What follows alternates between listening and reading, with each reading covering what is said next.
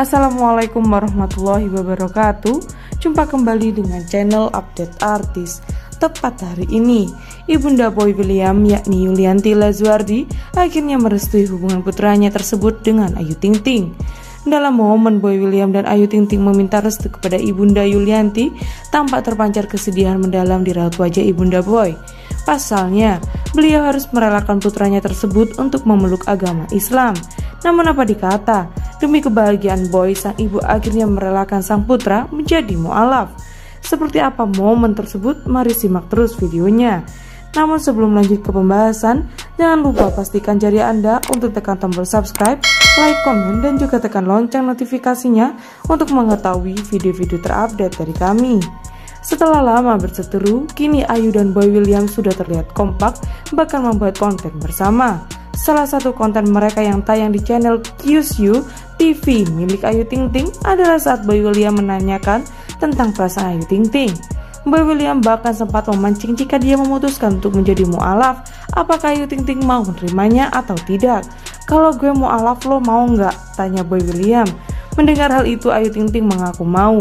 Dia bahkan bersemangat mau mengantarkan Boy William jika mau bersyahadat. Nah itu dia beda, kalau dia mau alaf gue mau, ayo bareng ya kan? Kata Ayu Ting Ting, pedangdut asal Depok itu mengakui bahwa Boy William akan menjadi sosok yang perhatian ketika menjadi pasangannya.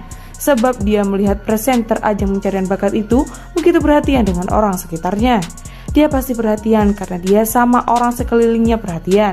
Dia sama pasangannya pun pasti akan perhatian. Ya udah lo sama gue aja kayak bareng, ucap ibu satu anak itu. Mendengar hal tersebut, Boy William mengungkap bahwa sang biduan sebenarnya memiliki perasaan terhadapnya. Udah gue bilang lo suka sama gue, I know, kata Boy William. Namun Ayu Ting Ting hanya menjawab dengan gerak tubuh yang menggemaskan. Makin suka dah lo sama gue, kata Boy William. Lo jelas-jelas kita enggak bisa bersatu, kata Ayu Ting Ting.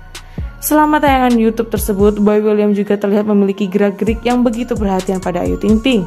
Beberapa kali Boy kepergok menatap penuh perhatian pada janda satu anak itu, dan beberapa kali terlihat merangkul Ayu Ting Ting. Perlu diketahui, Boy dan Ayu ternyata sempat berselisih hingga tak saling bicara selama empat tahun lamanya. Ayu Ting Ting sendiri mengungkapkan bahwa semua orang pasti tahu apa penyebab mereka bermusuhan. Jika dugaan warganet benar, keduanya tak saling tegur sejak membintangi film Dimsum Martabak Movie pada 2018 lalu. Saat itu, Boy William diserang fans Ayu Ting Ting karena dianggap kurang usaha dalam promosi. Boy tak terima dan mengeluarkan pernyataan bahwa kemesraan dengan Ayu hanya gimmick agar film mereka laku di pasaran. Namun kini keduanya sudah baikan. Demikian informasi yang dapat kami sampaikan. Jangan lupa ikuti terus channel update artis untuk mendapatkan info-info terbaru dari kami. Wassalamualaikum warahmatullahi wabarakatuh.